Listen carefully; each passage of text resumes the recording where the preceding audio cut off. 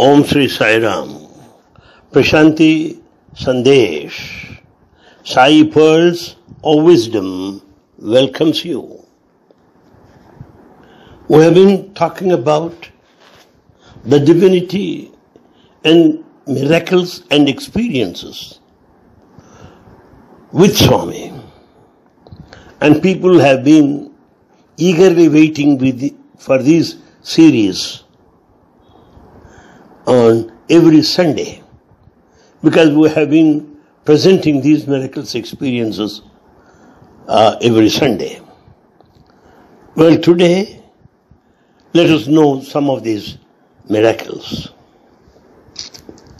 Every incarnation, blessed devotees who have undertaken arduous sadhana God grants His blessings in many ways to those who love Him. And uh, in Shirdi, Bhagavan said, as you know, in the beginning I give all my devotees whatever they ask for. I grant them so much that ultimately they ask for what I wish to bestow on them. Let us note this point. In fact, every incarnation wants us to know that we are the sparks of the divine, that we are eternal and immortal. So, to remind us of our own divinity, the incarnation, through his miracles and teachings, convey the same message. Well, Many devotees in the past, when Swami was in Shirdi, Dwarka Mai Mandir, many devotees used to gather around him and get his darshan. Of those, we very important people who sat very close to Shirdi Bhagwan are Mahalsapati, Madhavrao Deshpande, Tatya Kote Patil, and so on. They used to sit around Sai. One day, one gentleman and his family came to Dwarka Mai for Swami's darshan. And in the family, a boy also was there, who is the son of this gentleman. And the boy came very close and sat very near, uh, very near the feet of Sainath. Sai Baba made him sit next to him and very lovingly and casting a, loving glance towards the boy, Baba said, Diya, Diya, meaning given, given. The expression sounded strange to boy's father and all present. All present there. And Shama silently whispered to the boy, to say Liya, Liya, meaning I accept, I accept. So immediately boy said to Swami, Liya. Swami said Diya, and the boy said, Liya, I accept. Sainath smiled happily.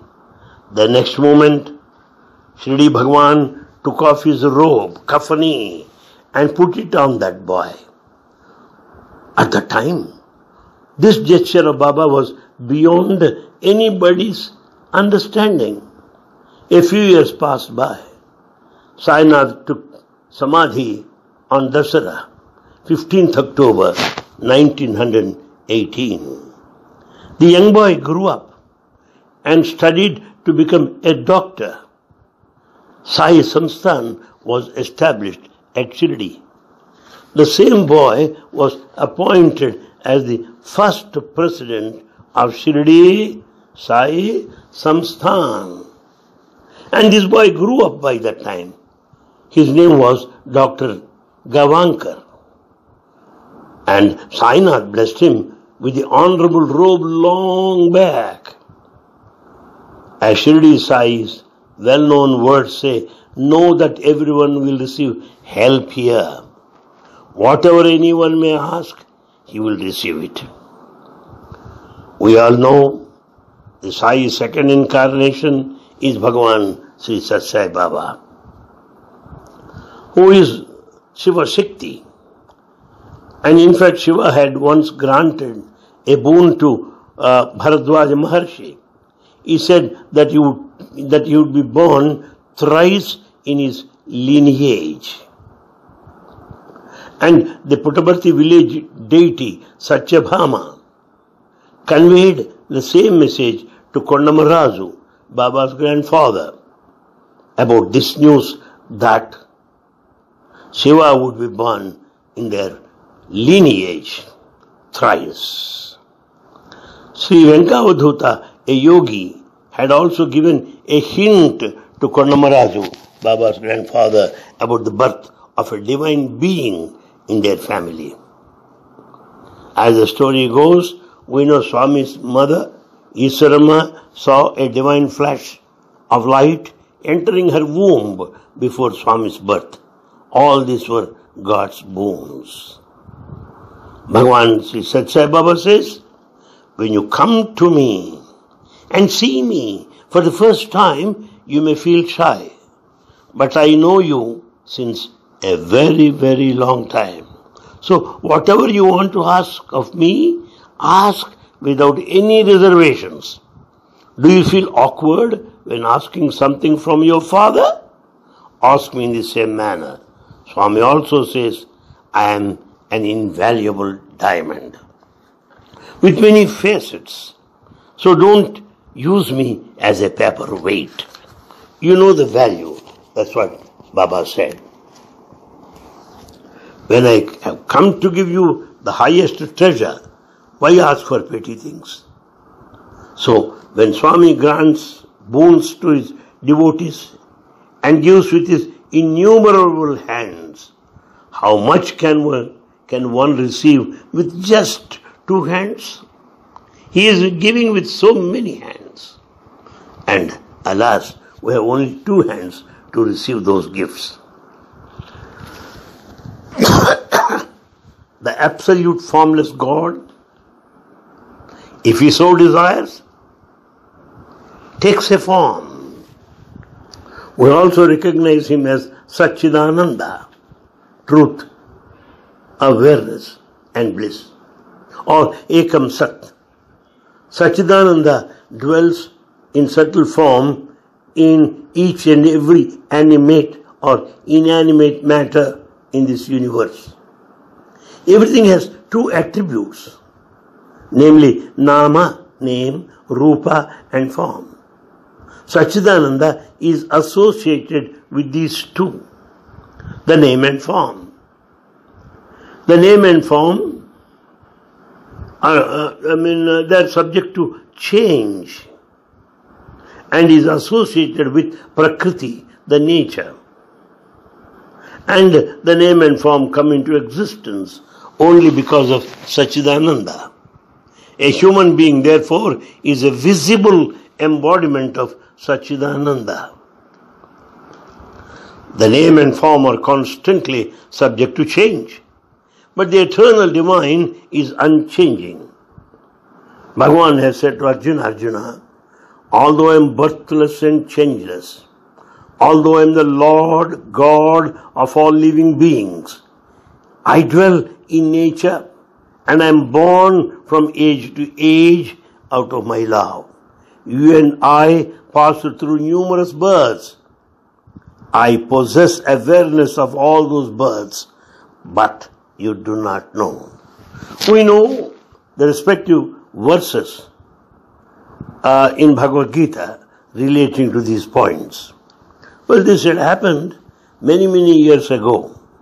Once Swami was traveling to Madras, now it is Chennai, to visit his devotees there. A few devotees accompanied him. They were traveling in seven cars. Swami car was being driven by a devotee, a very young man by name Krishna, and who was uh, who has a very thin frame.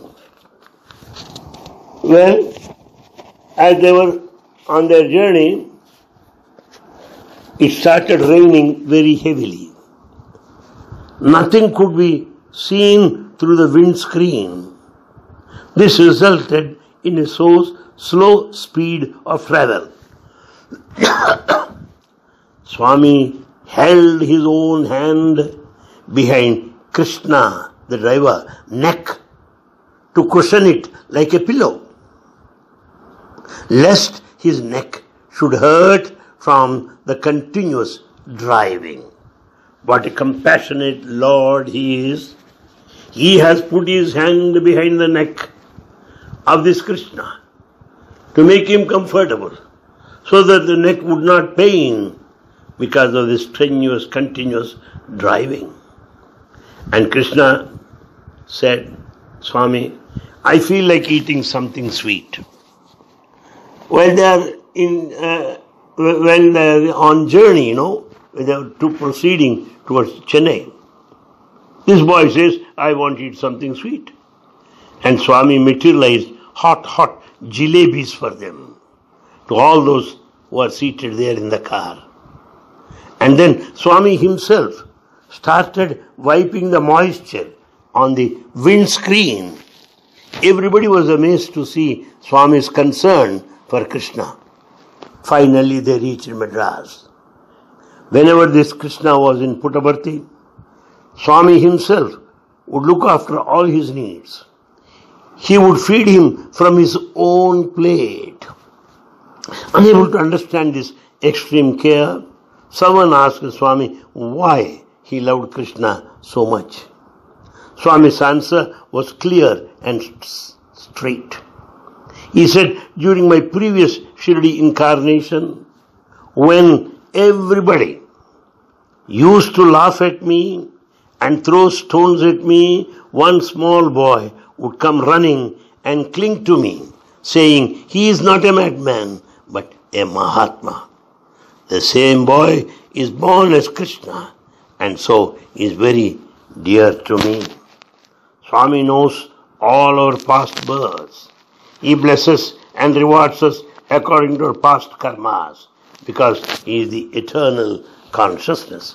He is the eternal consciousness as we know pretty well and as Swami declared. Well, it's also quite interesting to note that Swami materializes Sivalingam, what we call Lingodbhava, on every Mahasivaratri. He then gives this, this manifested Atmalingam to some chosen devotee for daily worship. Once it so happened that he gave Atmalingam to a lady devotee and also explained to her about the mode of worship. The lady was overjoyed and she installed it in the shrine in her house and started regular worship. After a while, she had to travel on work both in India and abroad. She would carry the lingam with her and perform worship wherever she went. But in doing so, she had doubts and was worried about maintaining its sanctity and felt burdened. She was also unsure whether she would be able to worship the lingam in future. So she thought of returning it to Swami. On her next visit, during darshan, Swami called her for an interview. However, she failed to express her doubts about this Atmalingam. The linga was wrapped in a silk cloth and was with her. The interviewers got over. Swami started going up the staircase. His upward walk was strangely followed by tuck, tuck, tuck sound. When she looked in that direction of the sound, she was stunned to see Atmalingam following Swami on the steps, resulting in that sound. She immediately checked her silk cloth, in which she had carried Atmalingam, and was shocked to find it missing. Found missing. It was not there. And then she exclaimed, Swami, my Atmalingam. Swami stopped for a moment, looked at her and said, Your Atmalingam. She realized her mistake, but it was too late. By that time, Atmalingam and Swami were already gone. This reminds me of another miracle that a devotee experienced. A great man by name Sri Ramasaran, Swami gave him a chain, but unfortunately he lost it while taking his bath. He lost it somewhere. Well, he, he came to Puttaparthi the very next morning crying, Swami, I lost the chain. Swami materialized the chain once again for him and said, Where does it go? It has come back to me. Don't worry. And he materialized it for him once again. This clearly shows that anything that Swami materializes would certainly go back to him. If we lose them by any chance, nothing can be lost. This is what I would like to share with you. Thank you. Meet again.